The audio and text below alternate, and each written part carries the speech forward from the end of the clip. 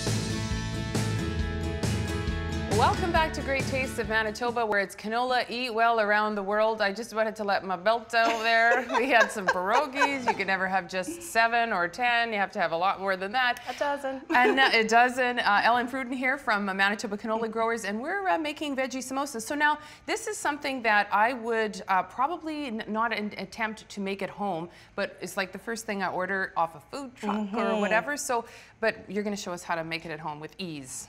Totally ease, and you know, it's vegetarian as you mentioned, so then that's great. And it's cut, it's couple component pieces. So it's all just right. all about the prep. We're gonna make the dough first, and we're flavoring the dough with cumin. So mm. we're adding our cumin. Is That, that's all cumin? That's yes, a lot of cumin. I know, because we got a lot of dough. It's right. three cups of flour. Okay. So we're gonna add in our flour, and this, like this dough recipe is, again, so simple. We're gonna blend that together, and we're adding in um, not hot water, but warm water. Hot water really makes the gluten become really tight, Suddenly. and you don't want that to happen. So the trick is, and this is something that I learned at the Canadian Grain Institute, uh, Canadian International Grains Institute. Uh, it's all about adding the water in first. And so when you make a pizza dough or a samosa or even the pierogies, you could do this too. Mm -hmm. You combine this, the flour and the water causes the gluten to kind of come together. And then you add in your three tablespoons of canola oil afterwards. And canola oil and water don't mix, right? Like oil and water don't right. mix. This then helps it to keep that um, soft, doughy, stretchy, stretchy, stretchy gluten, and all the gluten strands. Water first, oil second. Yeah, and okay. you're going to be so happy with this dough. So you'll come it together with your hands. It's a beautiful round piece of dough that you're going to make. The other trick that I've learned that I want to share is wonderful culinary technique. Okay. We have our hot pan. You're going to add in your canola oil into it, and this is typically what they do with um, like Indian cuisine, but you can again use it anytime that you're using a dry spice. So your oil's going to come up to temperature. You're gonna let it wait for a second, and then you're gonna add in your dry spices. Okay. So if you're using chili powder, cumin, you know, anything that's dry, because it's gonna flavor, do you see that? That's just gorgeous. Oh.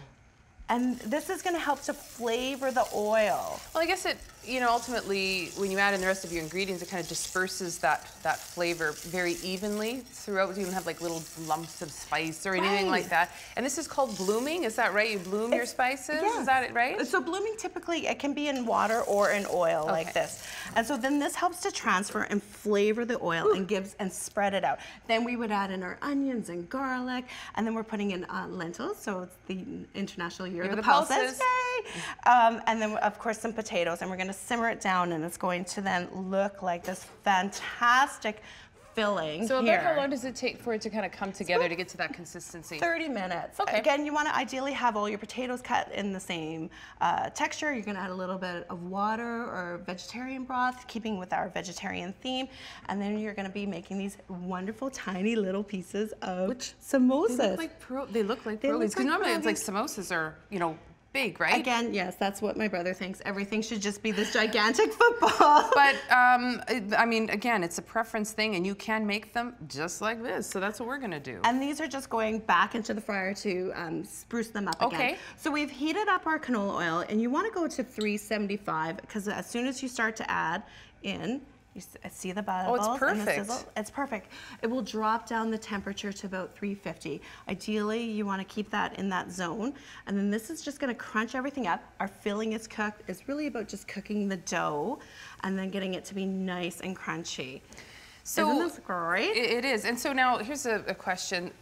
Can you, let's say you wanted to make these and you know, you've already deep fried them a little bit. You, can you can you freeze them and then put them back, like if you wanted to bring yes. them out and then freshen them this Just way? Just give them a little fresh and that's totally what we're doing. And okay. canola allows you to take that heat. Yeah, so why canola? Like well, canola oil is kind of like the, the creme de la creme in terms of just versatility. Um, and so it's, it, you can cook at a very high temperature with it? Very right? high temperature, but you never want to go that high. So canola oil has a smoke point where you would actually see smoke coming up about 468. Sounds about That's right. too high. In there. But you want to be at that 375 to 350 for any type of frying that you're doing. So the pierogies that we made, you could be doing it like this. Right. The samosas works out great. This recipe are, is made for a fry rather than a boil or a bake. And it just gets beautifully brown. Mm-hmm. You always want to season after you do the fry. So if you wanted to do a little bit of salt on there, you can, um, but never into the oil because that degrades the oil. Okay. And then ideally, you just save the oil, you let it cool. Yes, yeah, Right? And yeah. so then, because we're not doing fish, I keep fish with fish and then, you know, kind of veggie things with. With that, yeah. Okay. And so you can let it cool, strain it through coffee filters, and you can reuse it. Reuse it exactly. And so, just another silly question. So, can you sort of eyeball this? Because I think a lot of times you would, you would you would you take the temperature of it, or you just kind of Totally, eyeball you would use it? the temperature. Because I, always eyeball I'm like a it. seasoned pro.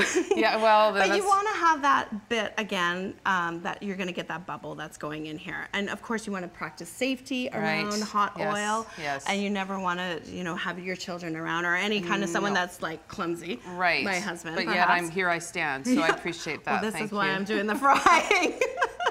and then out they go again. Like, look how Well, they look- plump, and they've, Yeah. but you know, just burst it up.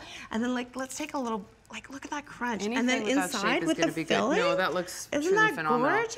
Uh, I'm gonna have a little taste of this when we come back. Cassava cake, another great taste of Manitoba first. Uh, stay with us. Cheers. You're watching Great Tastes of Manitoba, brought to you in part by Manitoba Liquor Mart. Enjoy responsibly.